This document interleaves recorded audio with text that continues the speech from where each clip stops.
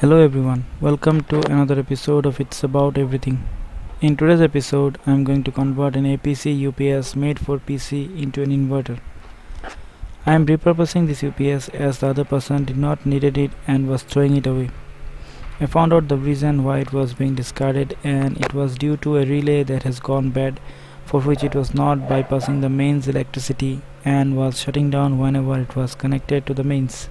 However, its inverter function and the battery charging functions are working fine and so I decided not to replace the relay which will save some money in this project and I'm also not intended to use it as an UPS so it's fine.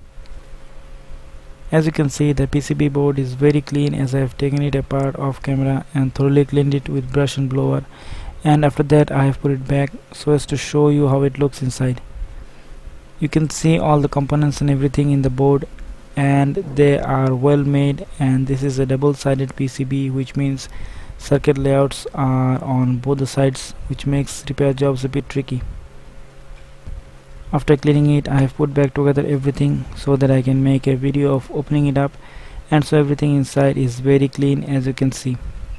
It was very very nasty inside with all the dust and spiderwebs it was clear that it was just lying on the corner for many days unused and the battery that it had inside is totally dead. So I have also taken it out. I was unable to revive the battery so will eventually give the battery to the recycler.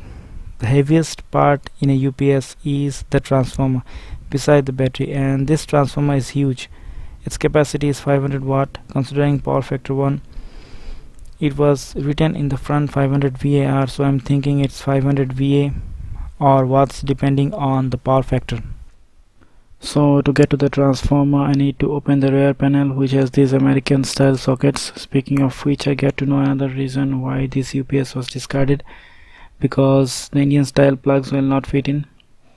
I'm assuming that this UPS is very old as this type of UPS are not found now these days after opening up the rear panel I see it has lots of things that I can use such as the circuit breaker which appears fine and the wires with the crimped connectors. But for now let's keep it aside and open up the transformer. So as you can see the transformer is held with four screws and upon loosening it up the transformer comes out. This is a huge transformer. I mean you can compare its size with reference to my hand and if you have seen my previous video where I have fixed the transformer of Frontech UPS you can clearly see the size difference between the transformers this transformer has more center taps than the Frontech one and this is a 12012 type in the primary side with the red, black and white wires which, which are the thick wires. The blue and the brown wires on the primary side are probably for charging which works in reverse when the transformer is used as a step down transformer to charge up the battery. The secondary is also center tapped with only three wires coming out. Probably this is the reason why the transformer is bigger in size so let's move on so I'm thinking of using it as an inverter for now and maybe in future I will make it a solar power wall or a solar generator in either case I will use a box of some kind to enclose everything or mount it on the wall. And so I'm going to use this plywood 18 inches by 8 inches and mount everything on it. It will be easier later to modify. I might keep it open for now so that the transformer uh, sorry the transistors get some cooling. So the simplest way of doing it is screwing the PCB on the plywood along with the transformer side by side although the primary side's connector reaches the PCB perfectly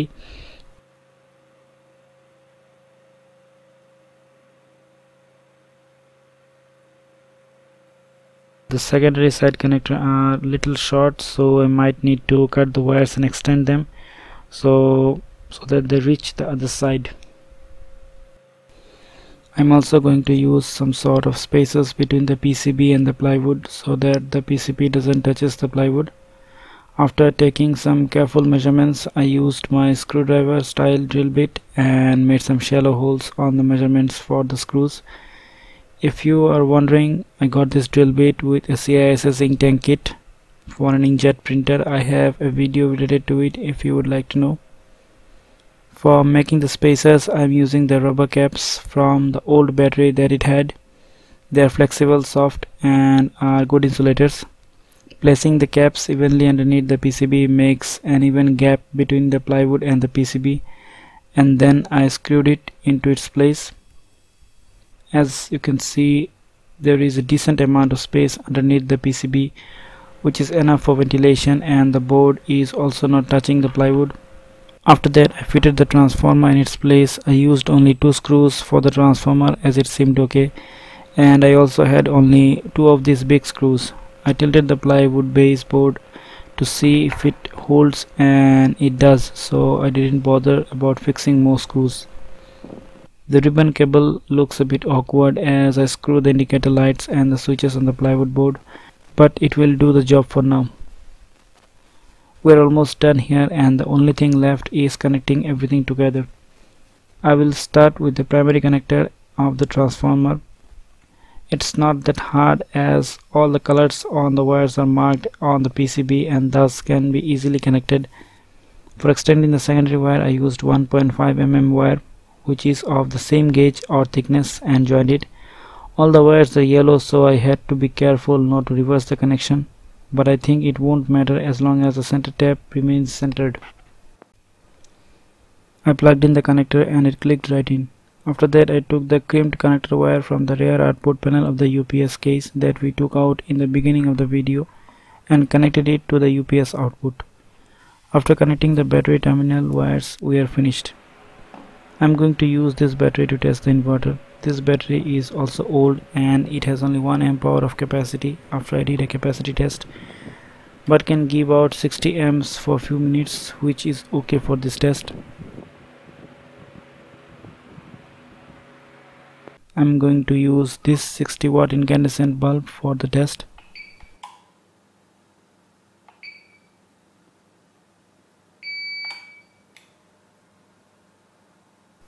you can see the lights are blinking which means it's turned on now I'm going to connect the bulb to the output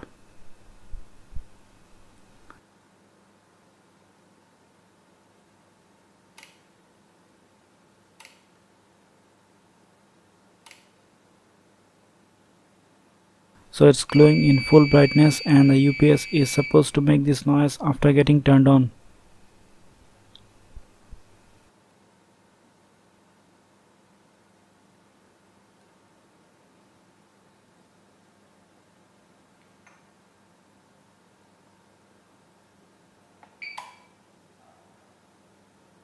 So this was it guys. This is how you convert a UPS into an inverter UPS are never meant to run for a longer period of time and that's why they don't have bigger heat sinks or fan.